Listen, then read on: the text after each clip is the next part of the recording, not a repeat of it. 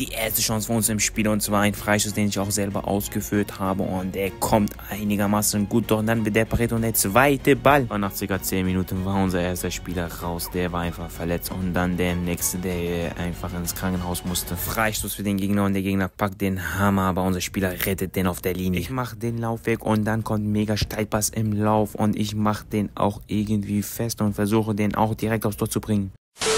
Willkommen zu einem neuen Vlog und zwar wieder mal ein Matchday-Vlog, wieder mal ein Matchday. Ja, Freunde, wieder ein neues Spiel mit meiner neuen Mannschaft. Ihr habt sehr wahrscheinlich im letzten Video gesehen. Wenn nicht, dann einfach Beschreibung äh, letztes, letztes Spiel abchecken. Wir haben 14-0 verloren, erstes Spiel 14-0. Woran lag es? Ich glaube, die meisten, die ein bisschen Ahnung von Fußball haben, haben selber gesehen.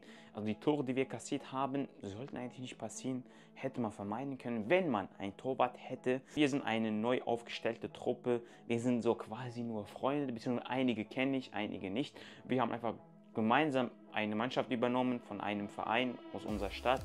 Und äh, wir sind direkt in der Kreisliga B gestartet. Das ist auch das Problem, Freunde. Normalerweise würden wir eine Hobbyliga einfach starten, Hobbymannschaft einfach machen und dann aufsteigen in Kreisliga C und dann so weiter, bis man sich einfach irgendwie aufbauen kann, gemeinsam einfach zusammenfinden kann. Bevor wir ins Spiel starten, möchte ich gerne ein paar Kommentare beantworten. Also lasst mal gerne einen Kommentar, lasst mal gerne eine Frage in den Kommentaren. Also wenn ihr eine Frage habt, stellt die gerne in den Kommentaren. Ich werde einfach im nächsten Matchday-Vlog wieder mal drauf eingehen, wieder mal beantworten. Der Bruder sagt, der Wechsel hat sich jetzt ja schon gelohnt. Also der hat irgendwo recht. Meine Mannschaft, äh, letzte Saison, wir waren Kreisliga C. Jetzt spiele ich eine höher. Wir wollten quasi aufsteigen, aber meine Mannschaft von der letzten Saison, wir waren top, Bruder. Wir waren echt sehr stark.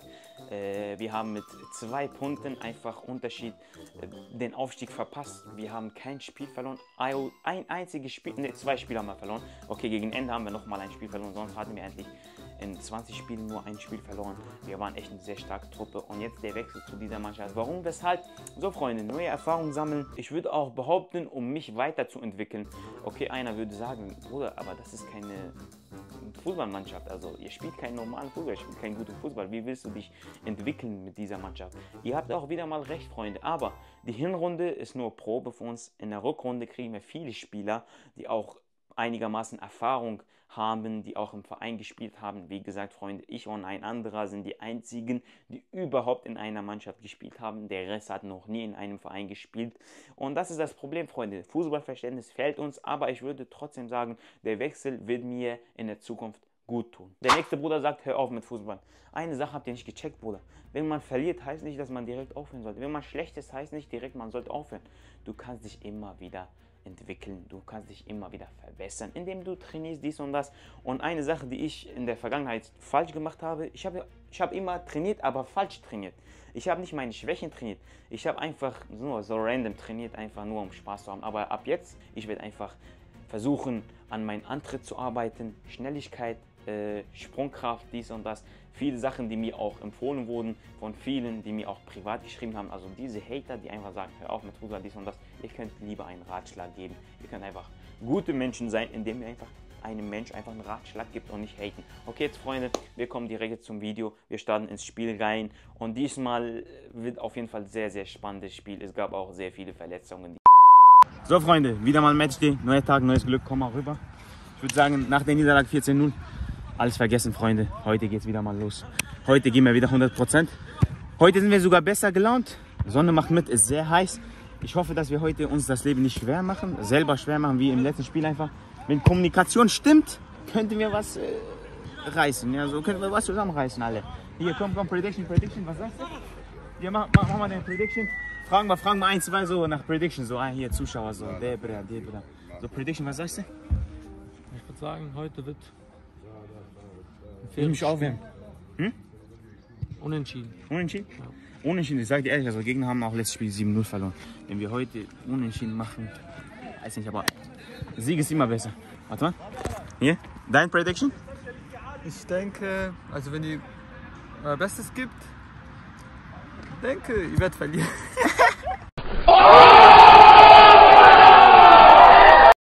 Der Gegner hat Anstoß, aber wir könnten quasi direkt den Ball erobern und hier kriegen wir einfach den Ball außen. Unser Sechser steht einfach außen, der bringt den Ball in die Mitte und dann unser Stürmer dribbelt sich einfach rein und dann bringt den wieder mal auf den Linksverteidiger. Der kommt einfach rein und äh, versucht einfach sich durchzusetzen. Er kriegt den Ball geklatscht und dann wird der gefault und Schiedsrichter pfeift das äh, nach. Und da habe ich mir auch den Ball einfach geschnappt und ich wollte den einfach selber aufs Tor bringen und der kommt auch quasi eigentlich gut, aber der Torwart kann den parieren und dann haben wir den zweiten Ball.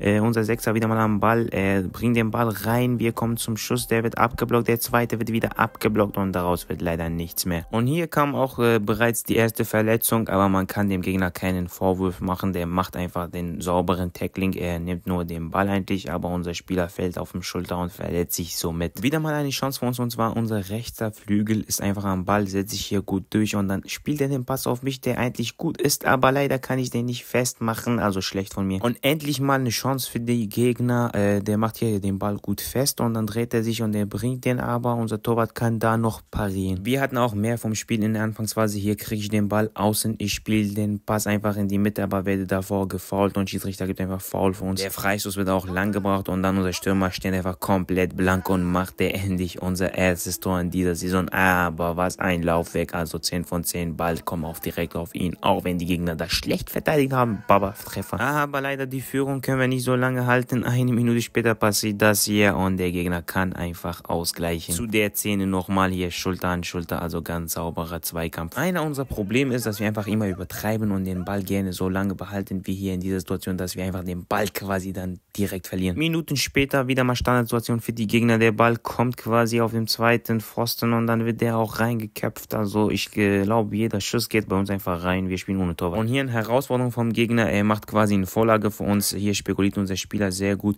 und ich, ich biete mich auf der Linie. Ich gehe einfach die Linie runter, kriege den Ball und mache eigentlich sauber Drehung äh, und äh, leider steht da der nächste Spieler, der einfach den Ball einfach weghaut. Und nein, Freunde, wir haben das nicht so bewusst so geschnitten, aber wir hatten wirklich viel vom Spiel mehr als den Gegner, aber wir haben einfach unsere Chance nicht reingemacht, wie hier mein Fallrückzieher à la Messi. Und das passiert auch sehr oft, Freunde, auf dem rechten Flügel hatten wir auch äh, mehr Chancen. Hier setzt sich einfach unser rechter Flügel durch und äh, ist einfach schneller als den Gegner und ich lauere auf dem ersten Pfosten, kriege den Pass auch und komme zum Abschluss, aber leider der Abwehr kann den noch blockieren. Und der Ball bleibt immer noch heiß, der Chalo kriegt den Ball auf dem 16er und sein Abschluss nicht so überragend, aber wir kriegen quasi einen Eckball daraus. Die Ecke, wie wir trainiert haben, bringe ich einfach auf dem ersten Pfosten auf unserem Sechser und der kommt zum Abschluss, aber der Torwart kann den noch parieren und dann geht der an die Latte. Naja, man kann wieder mal sagen, okay, Pech auf unserer Seite, aber wir haben unsere Chancen einfach nicht reingemacht. Man muss auch den ersten, den zweiten einfach reinmachen und wenn du die Chancen nicht machst, dann kassierst du die Tore hinten. Und auf jeden Fall hier sieht man wieder mal eine Situation, wo wir einfach zu lange den Ball behalten. Hier bin ich wieder mal am Ball. Ich sehe einfach den Chalo im Mittelfeld. Ich spiele den an und der spielt einfach zurück. Ich nehme den Ball mit einem guten Kontakt mit und dann sehe ich unseren Stürmer.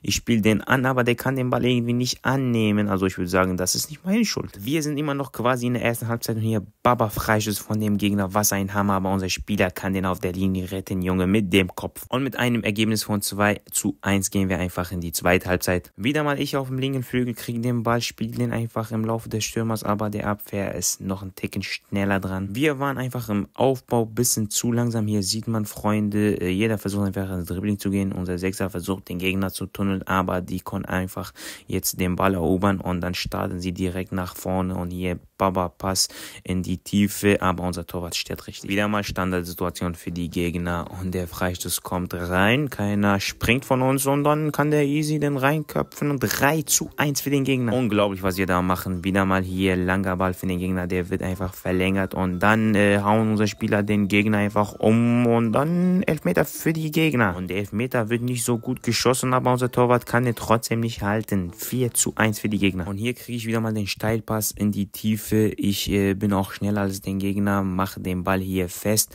mache den Ballroller, schaue mich um und dann sehe ich unseren Stürmer auf dem zweiten. Der kann den Ball wieder mal nicht festmachen. Der Gegner versucht den zu klären. Unser Sechser ist am Ball, spielt den Doppelpass und kommt quasi zum Abschluss, aber wieder mal Aluminium-Pech. Bro, ich kann es einfach nicht checken. Auf unserer Seite einfach, wir können einfach die Bälle nicht reinmachen. Wir haben einfach so viel Pech oder wir sind einfach zu nervös oder wir können einfach nicht, wir können es einfach nicht. Und hier eine ganz lustige Szene. Unser Spieler hebt der Handtuch, obwohl der Gegner an unserer Hälfte steht. Wahnsinn, einfach. Aber was noch lustiger ist, dass der Torwart den Ball irgendwie noch klären kann, einfach parieren kann. Auch wenn es 4 zu 1 für die Gegner stande, wir haben einfach trotzdem weitergespielt, Kopf hoch, einfach weitermachen und das Beste rausholen. Hier kriegen wir den Ball wieder mal auf der linken Seite. Unsere Nummer 10 äh, überschätzt sich selbst, also der ist schnell, aber so schnell ist der auch wieder mal nicht. Also. Und mit der Szene kann man einfach das ganze Spiel zusammenfassen. Gibt euch einfach, der Gegner spielt einfach einen Doppelpass mit dem Pfostenbruder. Auf der anderen Seite kassieren wir einfach nur Aluminium. Naja, Freunde, nach dem 5-1 für die Gegner kann man nicht mehr viel zum Spiel sagen. Wir hätten das auf jeden Fall viel besser machen können.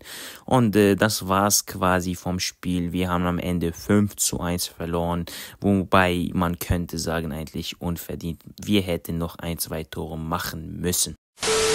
Naja, Freunde, das Spiel ist auch vorbei. Wir haben wieder mal verloren. 5 zu 1. Ich würde behaupten, wir hätten auch das Spiel anders machen können, anders entscheiden können. Wir hätten das Spiel auch besser machen können, indem wir auch ein paar Tore gemacht hätten. Aber was soll ich sagen, Freunde, es ist halt so gelaufen, wie es gelaufen ist. Äh, wir hatten viele Verletzte. Schiedsrichter, was soll ich dazu sagen? Der Schiedsrichter war echt ein bisschen abgehoben, muss man ehrlich sagen. Der hat mit uns nicht mal gesprochen. Er hat nicht mal Karten verteilt, wobei man könnte in der, in der anderen Situation dies und das einfach ein bisschen Karten verteilen.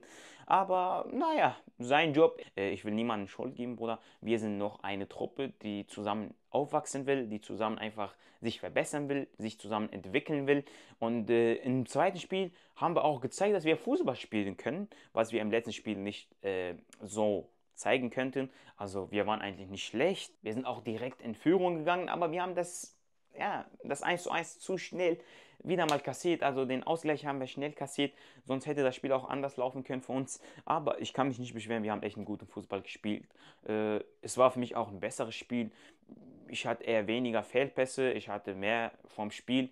Und im nächsten Spiel geht es weiter, Freunde. Wir wollen vielleicht unseren ersten Sieg holen. Wir haben nächste Woche, also wenn ihr das Video seht, sollte eigentlich jetzt ein Freitag sein, sehr wahrscheinlich. Äh, am Sonntag, Samstag haben wir kein Spiel am Wochenende. Das heißt, wir müssen noch eine Woche warten, bis wir das nächste Spiel haben. Nichtsdestotrotz, Freunde, danke fürs Zuschauen. Äh, lasst mal einen Kommentar da, lasst mal eure Fragen in den Kommentaren. Kann ich gerne äh, im nächsten Video drauf eingehen. Und wir sehen uns im nächsten Video. Peace.